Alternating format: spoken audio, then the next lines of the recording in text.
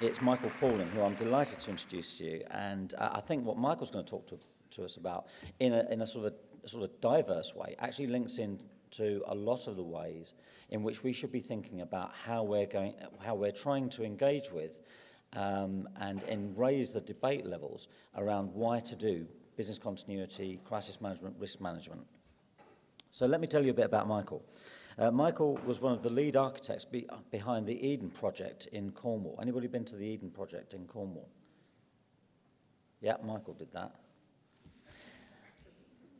Now, uh, he, uh, uh, and he's treating that as a, as a blueprint, as he believes there are huge gains to be made from learning how the natural world works especially in the effort to slow down the effects of climate change. And again, climate change is something that we obviously talk about a lot because, you know, with severe weather uh, uh, incidents and so on, that's becoming quite a big focus uh, in the world of business continuity, whereas traditionally it was loss of IT and loss of uh, buildings.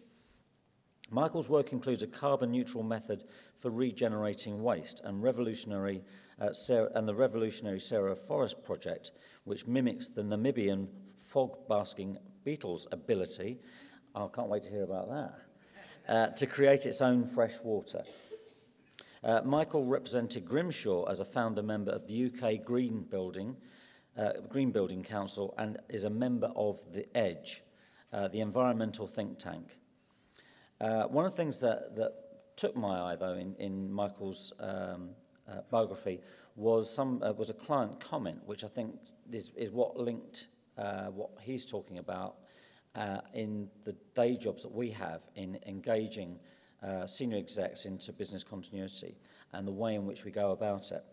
Uh, the comment was, Michael inspires audiences to look at the debate with imagination rather than doom-mongering. And I think that that's something, if we've moved on from the doom-mongering stage of trying to make people want to do something about improving their organisational resilience, then, then we're certainly on the right track. But I'm very uh, interested to hear uh, Michael's side of this and see how we can make some links into the type of work we do uh, from the subject matter that he's involved in. So please welcome Michael Pawlyn.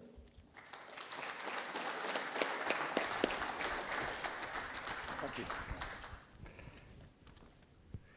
Well, thank you for that introduction. And indeed, I'm not Michael Palin, uh, but uh, I am a fan of Monty Python. So now for something completely different.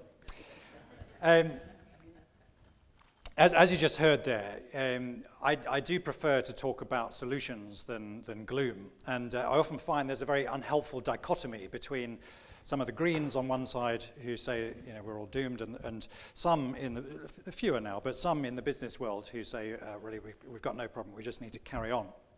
And what I advocate is taking a, a very cool, calm look at uh, future challenges and then devising solutions to those. And the kind of challenges I'm talking about are things like climate change, uh, resource shortages, food, energy, and water security. And the, the source of solutions that I find the, the most uh, useful in this is, is a discipline called biomimicry, which is about looking to nature as a source of inspiration for new solutions. And um, I can give you a, a couple of uh, quick examples of what I mean by biomimicry. Um, imagine, uh, or think of, a, think of a spider and spider silk. Now, a spider um, produces six different types of silk, which it weaves together with its back legs into a fiber tougher than any hu fiber humans have made to date. The nearest we've come is with uh, fiber called uh, aramid fiber, or Kevlar by another name, which is what we make bulletproof vests out of and so on. And it's worth looking at how you make uh, Kevlar, uh, an aramid fiber, because what you have to do is you take petroleum, you boil it in sulfuric acid at about 750 degrees centigrade, and then following the principle that if brute force doesn't work, well, you clearly haven't used enough, you then pile on extremes of pressure to get the molecules into place. Out of that, you get your fiber um, and a huge amount of toxic waste. So extremes of energy, extremes of pressure, uh, loads of toxic waste, and all that to do the same as a spider does at room, te uh, room temperature with raw materials of dead flies and water. It does suggest we've still got a little bit to learn. And then um, this example, uh, this is a, a beetle. Um, I'll, I'll, come to the fog basking beetle, that's later. Uh, this is the bark beetle. And uh, this can detect a forest fire at roughly 80 kilometers away. Yeah, Human-made fire detectors, uh, you might be able to see one or two on the roof, they have a range of about eight meters. So this is 10,000 times as sensitive, and what's more, it doesn't need a continuous connection back to a power station burning fossil fuels. Um, you might wonder why the hell a beetle would fly towards a fire. Uh, well, it actually flies to where the fire has just passed through, and uh, it lays its eggs in freshly burnt wood.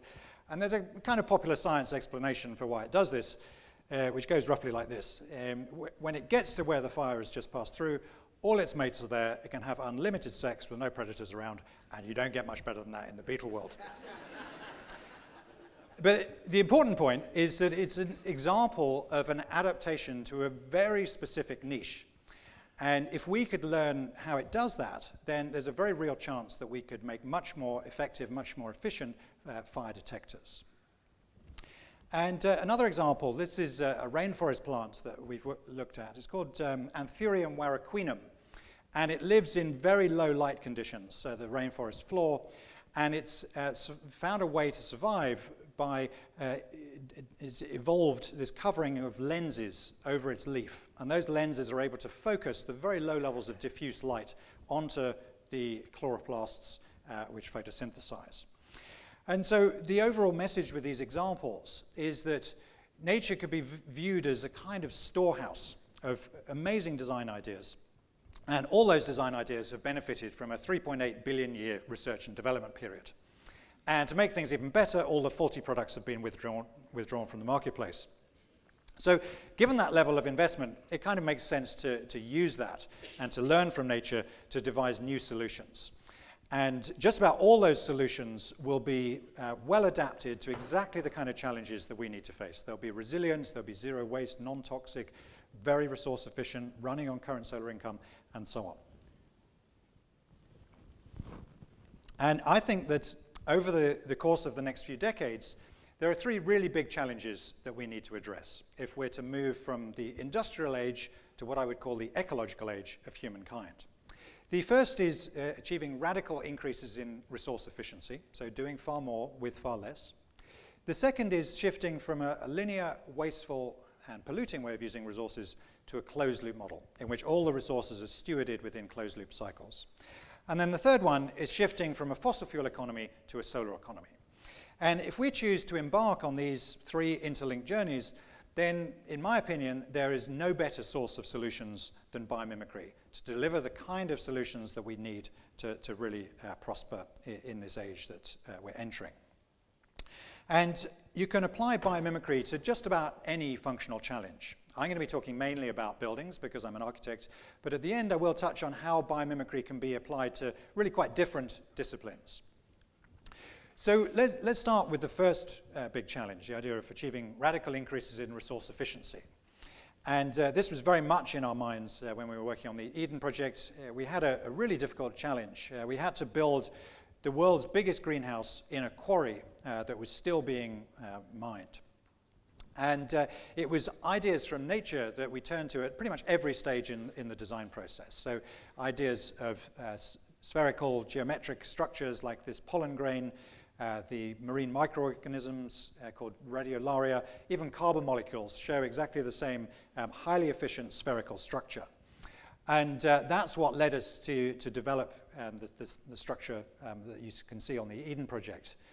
And what we found is that we got into a kind of um, positive cycle in which one breakthrough facilitated another. Uh, so with such a, uh, we had a very lightweight membrane on the outside of the building, and that produced savings in the steelwork. With less steelwork, we were getting more sunlight into the building, and with less overall weight in the superstructure, there were big savings in the substructure. So um, at the end of the project, uh, I worked out that uh, the weight of the superstructure was actually less than the weight of the air inside the building. And if we were to go through that process again, learning further lessons from nature with better uh, building technology, I'm pretty confident we could take that steel weight down um, even further. And the um, structural solution that we developed uh, from looking at these natural examples was actually far more resilient than a more conventional solution. A more conventional solution would probably have just sort of linear arches spanning from top to bottom. Uh, this one, uh, if, if one of those steel members broke, there are lots of other paths that the load could take to get safely down to ground. Uh, so there's quite a high degree of redundancy in this system. And that um, Eden Project, I think, is a, a pretty good example of how you can use nature to develop a completely new approach to what was a fairly standard building type. And what we developed there was something that cost a third of the price of a conventional glass roof. So now I'm going to turn, still with the, uh, the, the, subject of radical increases in resource efficiency, I'm going to turn, turn to a more conventional building, uh, which is an office building. And uh, this is one uh, that we've been working on over the last year or so, uh, basically using biomimicry to rethink office design uh, from a completely blank page.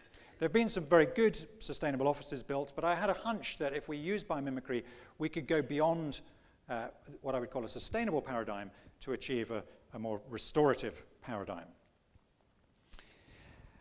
And with, with buildings, obviously you can make them resilient by having uh, large amounts of, of backup systems uh, backup lighting, a backup generator, backup air conditioning, and so on. But I think it's much more ingenious if you can design it in a way that designs out a lot of those systems. And these were the challenges that we set ourselves after the first workshop. Uh, we wanted to achieve a minimum 10% increase in productivity for the people inside the building, for the building to be, as far as possible, passively self-heating and cooling, uh, entirely lit with daylight, for the building to be a net producer of energy and for the air coming out to be cleaner than the air going in. And I would argue that those last three uh, are actually doing what I said about going beyond sustainable to achieve a restorative um, aim. So let's look at the first of those, um, uh, light. Now, light is pretty much a, a, precondition for all life forms on Earth. So it's not surprising that you can find really quite striking examples of how light is gathered and distributed in biology. And uh, we, we actually had a biologist, one of the best biomimicry professors in the world. We had him as part of our design team. And um, this example, this is, a, a, this is called a spookfish. And the spookfish has these eyes with amazing mirror structures, which are able to focus low-level bioluminescence onto its retina. Another one that we looked at with our biologist was uh, the stone plant. Now, this is a, a plant that lives in deserts and for reasons of temperature control, most of the plant is below the ground uh, to steady the temperature. And then it has a, what you could call a roof light in the top that brings the light into the basement where the photosynthetic matter is. A third one we looked at uh, is called the brittle star. And this is a starfish that lives roughly 500 meters below the ocean surface, where light levels are incredibly low. And like that plant I mentioned a few minutes ago, it has evolved a covering of lenses over its skin near optically perfect lenses which can focus and detect very small amounts of movement and so it's able to detect a predator long before the predator sees it. And I think what we found with, with all of these examples is that they, they all encouraged us to, to think much more creatively and deliberately about how we would bring light into the building, uh, trying to create a building that was uh, largely or as close as possible to entirely day lit. And a fairly conventional way of thinking about daylight in office buildings is to just think about the right distance between the windows. And in this country, there are quite often buildings that are very deep, you know, 30, 35 meters deep. And you know then it's going to be an energy intensive building because it's going to rely on artificial lighting and a lot of air conditioning. We concluded that the right distance was about 12 meters. So no one would be further than six meters from the nearest window. And then we thought about what uh, kind of buildings building forms this suggested. One approach would be to just take these narrow floor plates and stack them up into a tower. And that would work fine if it was a, dense urban location with high land values. We were probably going to have to deal with an out of center loca location. So we looked at two other types. One was a kind of donut ring where you have a central atrium. And a third one was a more linear approach where you have two linear blocks of office buildings and then you have a linear atrium. And it was the third one that seemed to work best when we actually analyzed the light levels. And looking at those light levels in plan, what we found is that we got a kind of curved pattern of shading uh, lot, uh, towards the middle of each block. And that was because of the shading effect of the opposite block. So the next design move was to bend those floor plates so that we would get a very even quality of light all the way along. And this produced two further challenges. One was that narrow floor plates aren't particularly good for creative clusters of people. And the second was that we were probably going to have to deal with a rectangular site. And this really wasn't making very efficient use of a rectangular site. So then we decided to elaborate those plan forms in the same way that biological forms are often elaborated to optimize the surface area. And we produced this plan form here with these undulations. So we still had no more than six meters from the nearest window, but now we were getting much better facilities for uh, creative clusters of people. You need a slightly bigger space uh, for effective working. Then we looked at the, the way daylight worked in the section. And what we found is that we were probably going to be getting more light than we needed at the top um, and not enough light further down. So we looked at the possibility of actually harvesting light at the top. Uh, using the trick from the Anthurium warocqueanum, we, we wondered whether uh, we could actually focus that light into fiber optics and then conduct it down to, to lower into the building. And that's perfectly possible, uh, but that uh, was something we had to sort of park as a separate research project. There wasn't the time to do that within the constraints of this study. But what we did conclude is that there could be an advantage in tapering the building forms and incorporating a, a large-scale mirror like the spookfish eye in the atrium. And that mirror would bounce light uh, deeper into the lower parts of the building. And then thinking about what we might do underneath that big mirror, uh, we thought this was a great opportunity to include a, a, a, meeting room, a really dramatic meeting space with some of the qualities that you see in uh, some of Ken Adam's designs for the James Bond film sets, and this one's actually for Dr. Strangelove. Uh, we like James Bond in, in my office, so uh, that was good fun. And, um, and then one of the secondary benefits of uh, uh, designing for high levels of daylight is you can incorporate a whole range of, of plants into that space. And NASA did quite a bit of work on self-contained resilient ecosystems. And they found that these three plants in sufficient quantities can deal with nearly all the contaminants that you find in an indoor environment. Uh, money plant produces a lot of oxygen during the day. Uh, mother-in-law's tongue produces a lot of oxygen at night. The areca palm is very good at taking out volatile organic compounds. And all three are very good at deionizing the air and reducing dust levels. In a test version of this in India on a 5,000 square meter office, they've achieved really quite remarkable results. Uh, as much as a 20% increase in productivity, a 50% reduction in headaches and eye complaints, even a measurable increase in blood oxygen. So now turning to an, an, another aspect of the building, essentially we, we looked at it in functional terms and uh, addressed each one and, and tried to use biomimicry to develop new solutions. So we saw how the basic building form Uh, has already been determined largely by daylight. And so the way we used biomimicry on the structure was to think about how we could use an absolute minimum of materials. In biology, you could characterize biological structures by saying that materials are expensive and design is cheap. And what I mean by that is that you often get really very complex structures that achieve, in biology that is, you, uh, that achieve remarkable efficiency by putting the material exactly where it needs to be. So this is a section through a bird skull. And what you have is layers of incredibly thin layers of bone connected together with struts and ties. So it's like a combination of dome technology and space frame technology, all in a humble garden bird. Another one we looked at is the cuttlebone uh, from a cuttlefish, and that's quite similar. You have thin layers of bone connected with these undulating walls. So again, a very strong structure with a minimum of materials. And what we did with our office building was that we analyzed a fairly generic floor structure of a, of a slab and columns, and we looked at it in terms of which bits of that structure were working hard and which bits uh, were really quite redundant. And all these bits that I'm shading in dark here, these are the bits that are structurally redundant, the centers of the columns, uh, the centers of the, the slabs. And so if we were to follow the shape that it wants to be, it would probably look something like this. Uh, we would have um, slightly deeper floor plates in the middle, we'd have hollow columns, and then in the middle of the floor plates, we would take out some of that mass uh, with voids. Um, and then uh, there's, a, there's a chance that we could actually connect the air cooling system up to all these voids in the floors. And by doing that, um, every molecule of that building would be doing two functions, a structural function and a thermoregulation function. And this is entirely possible with existing technologies. Uh, so what we often do is we use biomimicry to identify the absolute ideal, and then we come back from that to something that is achievable with current technologies. And the real breakthrough technology for us would be um, when 3D printing and 3D manufacturing has advanced to the point where we can manufacture building components.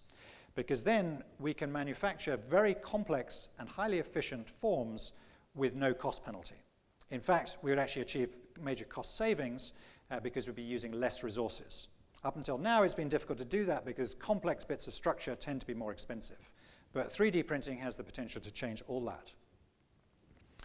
Now moving on to thermoregulation, uh, what we saw in that last example was that uh, pieces of structure often become more efficient when they're hollow, if you put the material where it needs to be. And in biology, hollow structures are nearly always used for something else, for conducting gases or liquids around the organism, or in our case, uh, say in the case of our spinal columns, uh, conducting information. Uh, nerve cells pass all the way from our brain through our spines, connecting up our body. And this made us think about the idea of connecting the building into the ground underneath. The temperature of the ground a few meters below the surface is a very steady temperature all year round. And that's a trick that you can see in examples like ground burrowing animals. They use that to modify the temperature in their burrows. And the, the real masters of this are termites. Uh, we're used to uh, kings and queens being quite high maintenance, but arguably there's no more high maintenance monarch than the queen termite, who insists on temperatures of plus or minus one degree in the royal chamber, even though the tem temperature outside is changing by as much as 40 degrees. So what we proposed was that we would create this, this network of pipes um, under the ground, and then we could use the steady temperature of the ground to connect up into the building, so benefiting from free heating in winter and free cooling in summer. The final bit of this jigsaw puzzle on the, uh, the office building is the external envelope. And um, this got a little bit complicated, so I've summarized here what we were trying to do. We wanted to achieve high levels of daylight for human health uh, and to reduce energy consumption. But daylight varies enormously from zero at night, obviously, to as much as 100,000 lux on a really bright day. But in the working environment, you want a fairly steady level of illumination. And we also need to admit light but not lose heat, and that can be challenging. So on that last one, we looked at uh, high technology um, insulation products that also admit light. Uh, this is called aerogel, uh, which was developed in the space race. Incredibly lightweight, very insulative, and very light uh, translucent. And it's really come down in price a lot from uh, absolutely extortionate to just downright unaffordable. Um, so uh, we moved on to some other examples. Uh, polar bears actually have hollow hair fibers, which are part of what insulate the, the, the, polar bear. And um, it was partly that that helped us develop a, a translucent insulation system. And then what we needed to do was to create a kind of covering over this building. Let's say it's a covering of leaves, uh, which could move to admit exactly the right amount of light. The ideal, we reckoned, was to uh, allow exactly the right amount of light in and to convert all surplus light into electrical energy. Now, that means photovoltaics. Uh, it also means things that move, and both, both of those tend to be expensive. But you can make it a lot cheaper by having a large number of small identical pieces of solar cell and by making those just move between two positions. If they just move between open and closed, that's much cheaper than something that moves through a whole range of positions. And then we looked at examples of, of movement mechanisms in biology. Now, this is called the sensitive plant. It, when you touch it, the leaves close up. Uh, beetle wings, uh, quite interesting examples of things that fold up uh, into a very compact form. Uh, we also looked at folding patterns in, in leaves and in flower petals. And we also used uh, lessons from uh, shells to develop a glazing system that used about 50% uh, of the, glaze, the amount of glass of a conventional solution. And uh, this is how the scheme looked at the end of the commercial feasibility study. We did a concept study first, and then we did a commercial feasibility study to prove that this could be built for a, a, um, a, a realistic cost plan that would still allow the developer uh, to make a profit. And you can see that uh, most of those ideas that we started with are still there, the undulating plan form, the large-scale mirror in the middle with the, the, the uh, meeting room underneath. And what this is as a building is something that I would argue would be extremely resilient. You could have a major power cut uh, where this was built, and this would, could continue functioning almost indefinitely. Uh, it would need a certain amount of uh, reserve batteries so that it could light the workspaces at night. But during the day, it would be almost entirely uh, day lit, is generating most of the energy it needs, and so on. And I think the benefits go beyond that. I think it's also a, a very, it would be a, an extremely uh, enjoyable workspace uh, for people to work in. I think they'd be much more productive. And we felt that the, um, the economic benefits of this, uh, possibly we hadn't spelt these out as well as we could have done. So we put together this uh, kind of back of the envelope uh, calculation uh, to, to show to the client. Now let's say the building costs 90 million Swiss francs, and uh, this was to be in Switzerland. Uh, so let's say there were 3,000 people in there on a salary of 100,000 Swiss francs a year. That means the annual salary bill would be 30 million, sorry, 300 million Swiss francs. Now, if we could achieve a 10% increase in productivity, then that would be worth 30 million Swiss francs a year, which means the building would pay for itself completely in just three years. It can be quite difficult to persuade clients of the validity of this approach, but I think we are now moving beyond the idea of just making sort of small scale energy savings and actually looking at brand value, quality of life, and people's productivity. And I think increasingly we will see these kind of arguments um, accepted by clients. And increasingly, I think we'll see the argument for resilient design uh, as being increasingly important. So that was all about radical increases in resource efficiency and how we can use examples from biology to rethink uh, existing challenges. Now I want to look at the second big challenge, which was the, the shift from a, a linear wasteful and polluting way of using resources to a, a closed loop model, uh, similar to ecosystems. And uh, there are some uh, industries and, and some um, industrial parks that have been set up based on this idea. They've co-located industries so that the waste from one can become the nutrient for something else in that system. The example I like the best is a, a project called the Cardboard to Caviar Project, which I think uh, describes what this is about extremely effectively. Um, this was set up by a guy called Graham Wiles. And uh, what they did is that they collected cardboard from shops and restaurants. They then uh, shredded that and they sold it to equestrian centres as horse bedding. When that was soiled with manure, they were paid to collect the cardboard and manure. They put it into wormery composting systems, which produced lots of worms, which they fed to Siberian sturgeon, which produced caviar, which they sold back to the restaurants which is quite nice because it's turned this linear wasteful system into a closed loop system uh, that also creates far more value because they were paid at various stages. They were paid for the horse bedding, they were paid to take away the, uh, the manure and cardboard, they were paid for the fish, paid for the caviar, and so on. And I'd been using this example in talks for probably about three or four years, and then I was invited to uh, teach on an intensive course about biomimicry. So I thought it was time I actually found out the full story. And I went up there and met Graham Wiles, and he very generously showed me all about the project. And in many ways, the, the longer story is more interesting than that summary. And I, I think it's got some interesting lessons for resilience as well. Because when he started, it was just the first part of that. He was involving people with disabilities uh, to shred cardboard, and they were selling it to the equestrian centres. And then the horsey people said, okay, well, what do we do with this uh, waste cardboard and manure?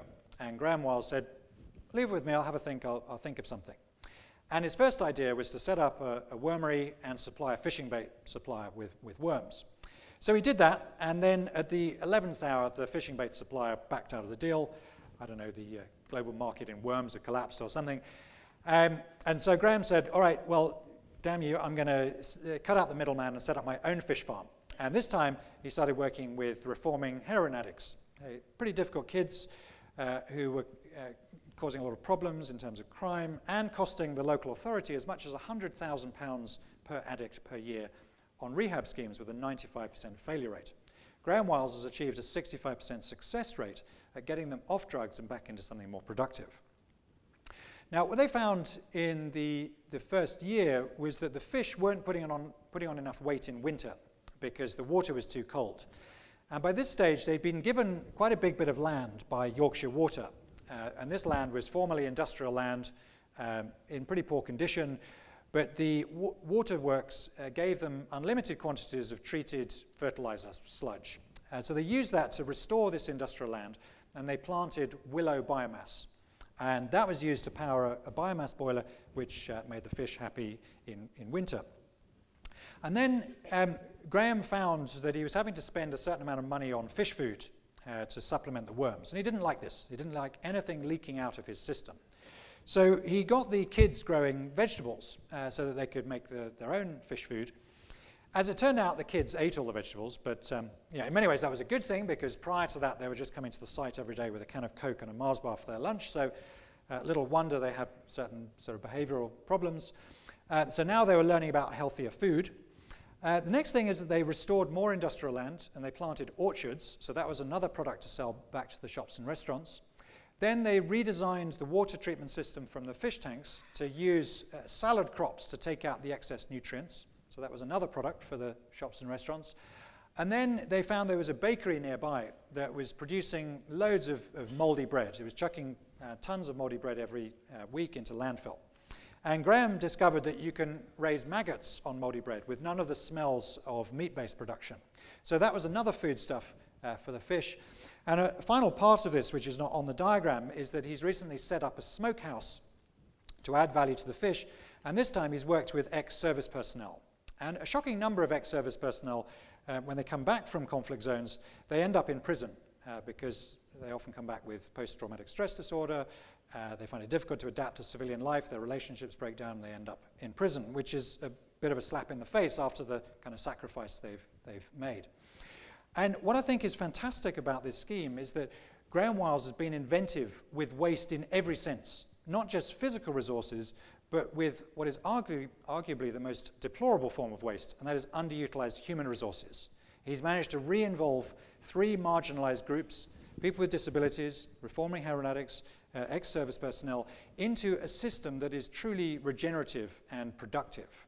And just as real ecosystems increase in diversity and resilience over time, there's a real sense with this that the more it grows, the more the number of possibilities increase. Uh, turning waste into value, restoring land, enhancing biodiversity, involving people in a productive system. And I think that project actually uh, satisfies nearly all the criteria of a, a real ecosystem. So if we compare the characteristics of typical human-made systems, uh, we find that ours are simple and disconnected, whereas biological systems are complex and interconnected. Ours tend to be linear and wasteful, whereas biology is closed loop and zero waste. Ours tend to be resistant to change. Uh, we use long-term toxins, nature doesn't. Ours are fossil fuel dependent. Uh, nature runs on current solar income. Ours are often engineered to maximize one goal, whereas ecosystems have evolved to be an optimized overall system. Um, ours are extractive, biology is regenerative. And I think if you look down that right hand list, that's actually a very good summary of where we need to be heading uh, to rethink our industries, our cities, our processes um, over the next few years. And most of those um, would, would enhance the resilience of the system as well. So we've been playing with some of these ideas, uh, partly based on the Eden project, partly based on that cardboard caviar project. Uh, we wanted to create an urban greenhouse uh, with a restaurant inside it. And uh, this one already exists. This is in Holland. It's called De Kas, uh, where you sit inside a productive greenhouse and um, there's no menu as such. You just have whatever's in season, and it may be as little as an hour from the food from being on the plant to being on your plate. Um, so we thought that was quite fun. And in our urban greenhouse, uh, we also wanted to incorporate a number of other systems. We wanted to bring together a range of systems uh, so that the waste from one becomes the nutrient for something else in that system. So we proposed incorporating a biodigester that could deal with all the biodegradable waste from the, the local urban area, turning, out, turning that into energy and uh, food, sorry, fertilizer, we proposed a water treatment system that uses plants and microorganisms to treat wastewater. We obviously had to have a fish farm after the fantastic cardboard caviar project. This would be fed with vegetable waste from the kitchen and then would supply fish back to the restaurant.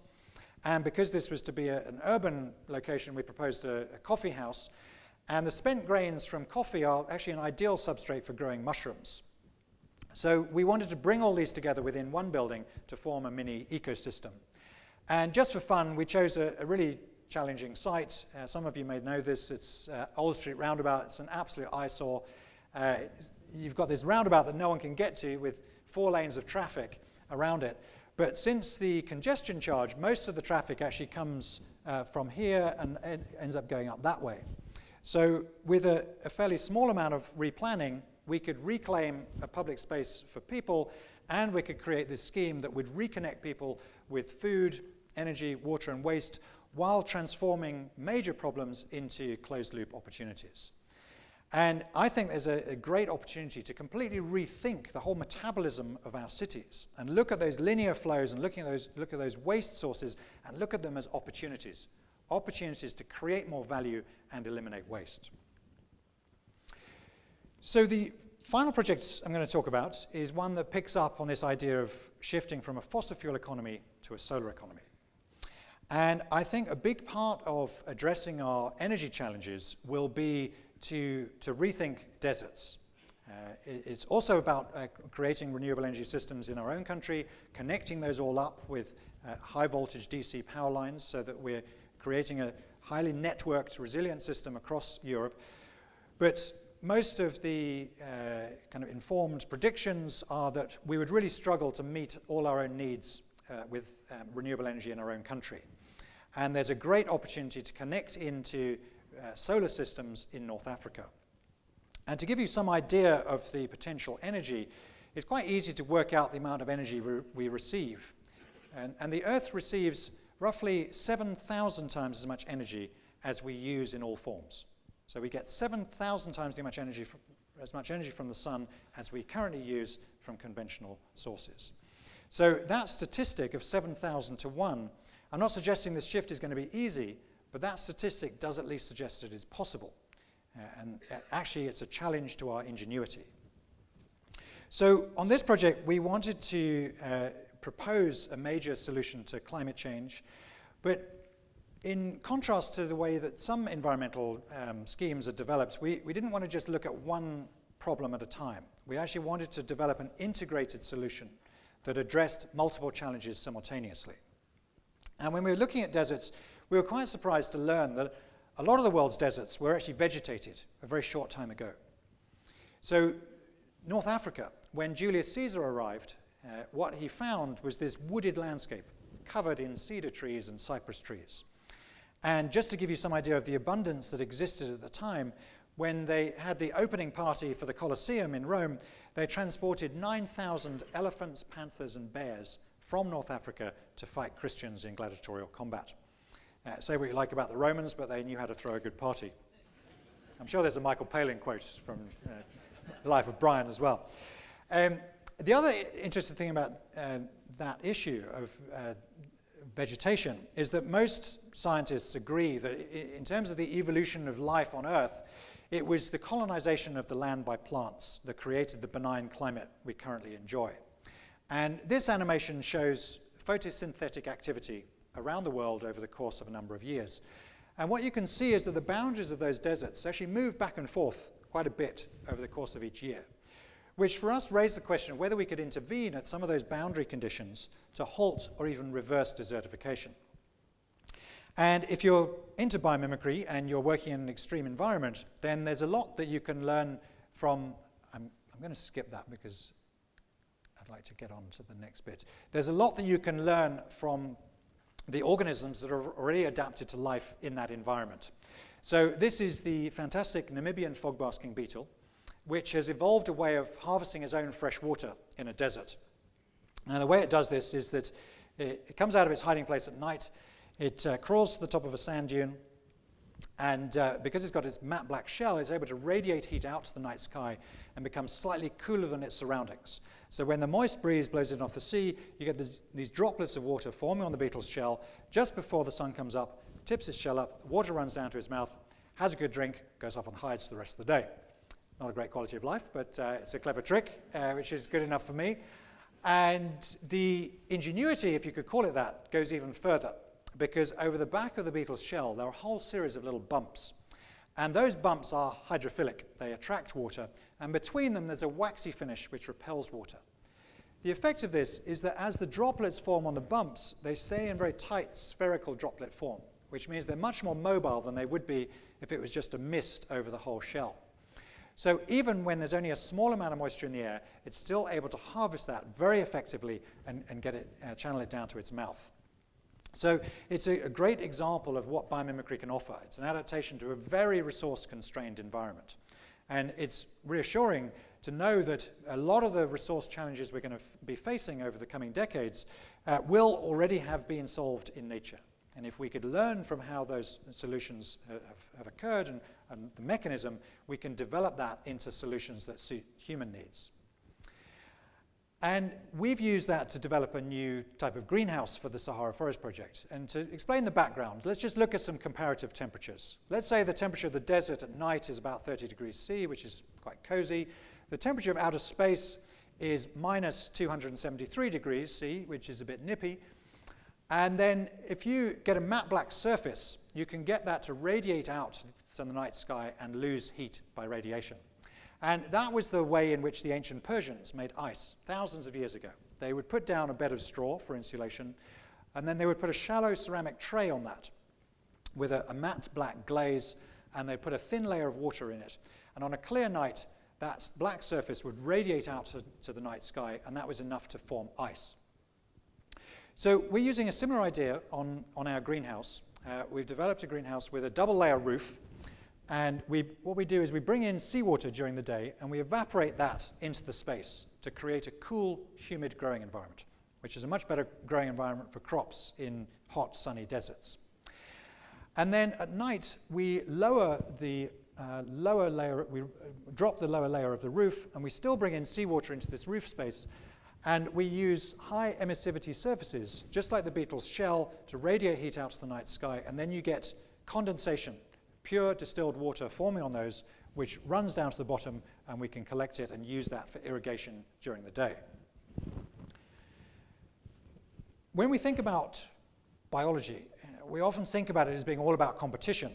Uh, and certainly competition is important, but increasingly biologists have come to understand that uh, in mature ecosystems, you're just as likely to find examples of um, symbiotic relationships in which organisms have evolved for mutual cooperation. So an important principle with biomimicry is to look for ways of bringing technologies together in symbiotic clusters. So we looked around for technologies that would work well with the greenhouse. And uh, this is the one we settled on. It's called concentrated solar power, uh, which uses mirrors to focus the sun's heat to create electricity. And the kind of synergies that I'm talking about, uh, firstly, uh, these, both these technologies work very well in hot sunny deserts. Concentrated solar power, or CSP, benefits from seawater cooling is as much as 10% more productive. We can make use of all that waste heat to evaporate more seawater in the greenhouse and create more fresh water. And what is possibly the, the most interesting synergy is that the shade created by those mirrors makes it possible to grow a whole range of crops um, underneath that would not grow in direct sunlight because of the intensity of the sun and so on. So the idea at, at, at a sort of sketch concept level was that we would create these long hedges of greenhouses with concentrated solar power plants at intervals along the way. And at a large scale, it would look something like this. So it's a, it's a model for how we could create zero carbon food in some of the most water stressed parts of the planet, abundant renewable energy, and uh, we'd be able to revegetate areas of desert, locking up carbon, atmospheric carbon, in desert soils.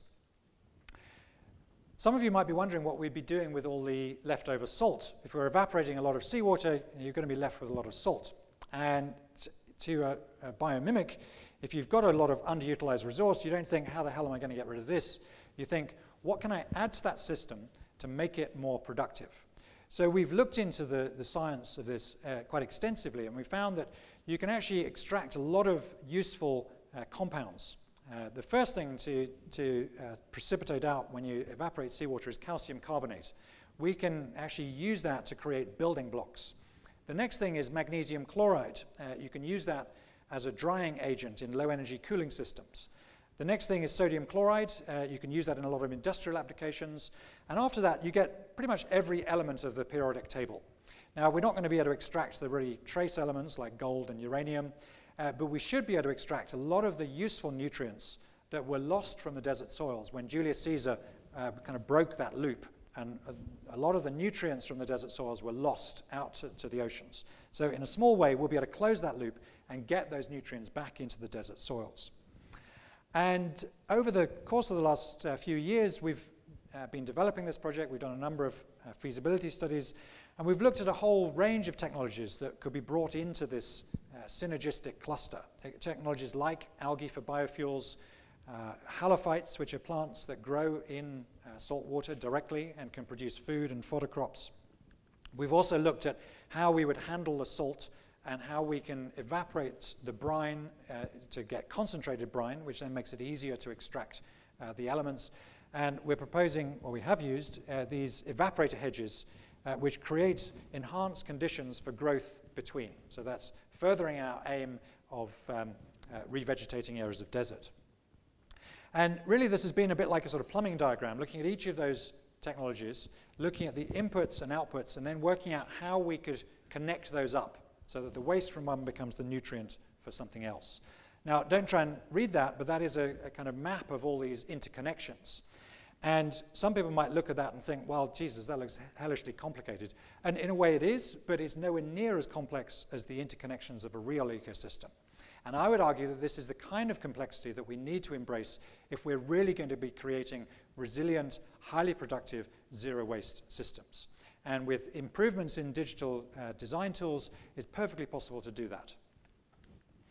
Uh, so on, on, our project, the Sahara Forest Project, we built the first version last year in a very short time frame.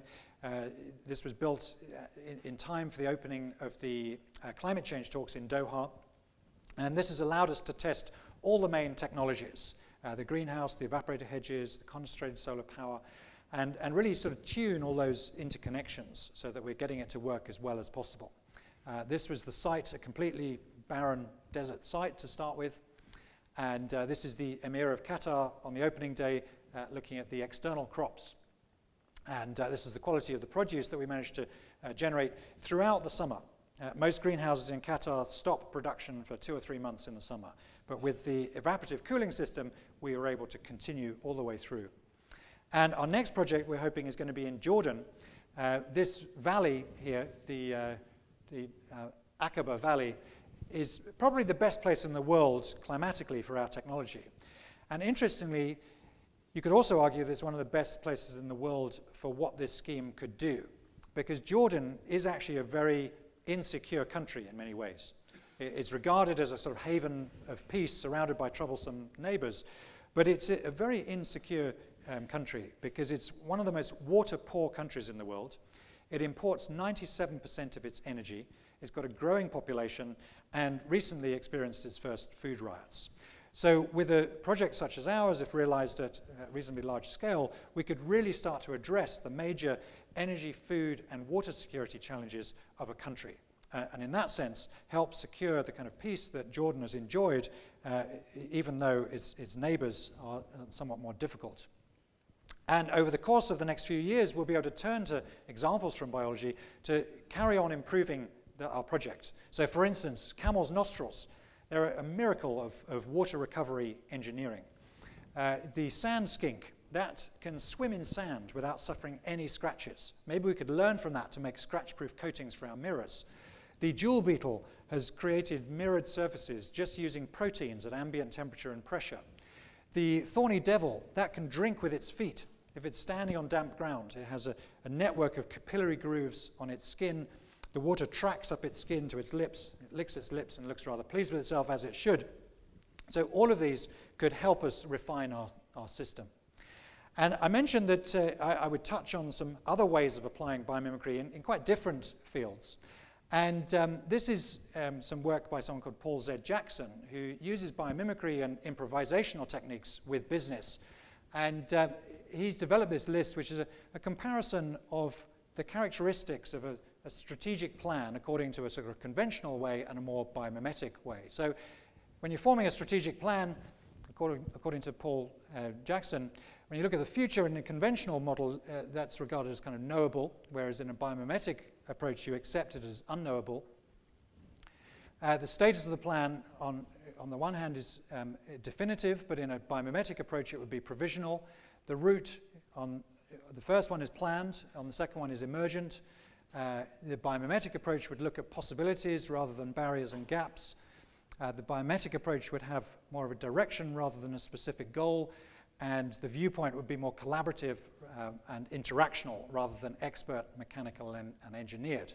Now, this isn't really my field, so I can only offer a sort of opinion, but when I look at that, what I see on the right-hand side looks way more exciting than, than the left-hand side. The left-hand side looks pretty stodgy and conventional. The right-hand side is all about adventure. Oh, sorry, one more here uh, in terms of skills. On, in the conventional model, it's planning and forecasting, whereas with biomimicry, it's, it's more about improvising. Final example from a different field. This is from the field of transport. What you're looking at here is an organism called a slime mold. Uh, it doesn't sound very nice. It's a unicellular organism that forms a minimum distance network between sources of food. And uh, some scientists in Japan uh, did an experiment where they, they got a map of the Tokyo region and they put small piles of food on the surrounding cities around Tokyo and then they put a slime mold on Tokyo itself. The slime mold ex extended over this whole region, and then very quickly it formed a network around the um, around or connecting all the sources of food, um, and that was actually a minimum uh minimum distance optimized network that almost exactly matched the railway network pattern for that region. The railway network had, had taken thousands of hours of engineering time to work it out. The slime mold did the same task better in 26 hours. It actually had a slightly more resilient uh, solution because there, was, there were a few more uh, redundant links that could cope with interruptions to that system. So I think increasingly over the next few decades, we're going to see biologically based algorithms that will help us design much more efficient, more optimized, and quite possibly more resilient solutions. And to draw to a close now, the, the kind of solutions that we've been looking at uh, over the last three quarters of an hour, these are really just a, a tiny fraction of what exists in a source book that we're only just beginning to understand. 3.8 billion years of research and development. That's what nature is. 3.8 billion years of brilliant solutions illuminated by previously unparalleled scientific knowledge, facilitated by previously unimaginable digital design tools, Designers have never had such an opportunity to rethink and devise solutions fit for the next billion years. And returning to those three big challenges of radical increases in resource efficiency, linear to closed loop, fossil to solar economy, of course, some people might scoff at the feasibility of a solar economy or the idea of zero waste, but we know this stuff is not the stuff of fantasy because the living world is proof of the possibility. And not just an ordinary possibility, but a wonderfully complex, abundant, and regenerative possibility. And that destination, that destination of the ecological age, I really believe that is close enough to touch. And biomimicry will be one of the best sources of solutions that will uh, help us reach that. And, and that's a journey that we can all uh, lead on if we choose to. As Margaret Mead said, never doubt that a small group of thoughtful, committed citizens can change the world. Indeed, it is the only thing that ever has. Thank you very much for listening.